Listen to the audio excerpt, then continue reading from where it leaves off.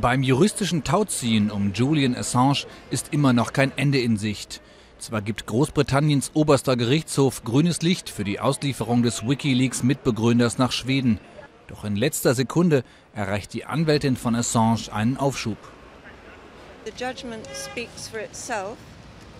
The judges were clearly das Urteil spricht für sich selbst. Die Richter waren eindeutig gespalten.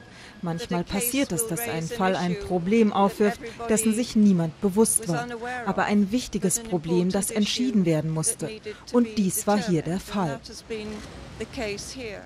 5 zu 2. Mit dieser Mehrheit entscheiden die höchsten britischen Richter, die schwedische Staatsanwaltschaft sei eine Justizbehörde und somit befugt, einen Haftbefehl gegen Assange auszustellen.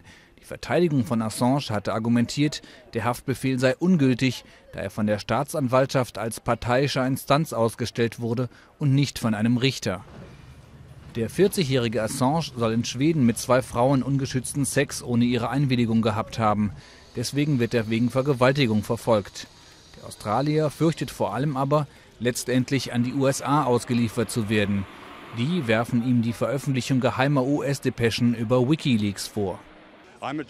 Ich bin Journalist und ich denke, alle Journalisten sollten sich Sorgen machen um den Fall Wikileaks und Assange. Denn was Julian Assange widerfährt, das kann jedem Journalisten passieren. Für die Unterstützer von Assange sind die Anschuldigungen aus Schweden politisch motivierte Teile einer Schmutzkampagne. Die Anwälte des Australiers haben nun zwei Wochen Zeit, um eine Neuaufnahme des Verfahrens unter Berücksichtigung weiterer Unterlagen zu erreichen. Letzter Ausweg wäre ein Gang vor den Europäischen Gerichtshof für Menschenrechte in Straßburg.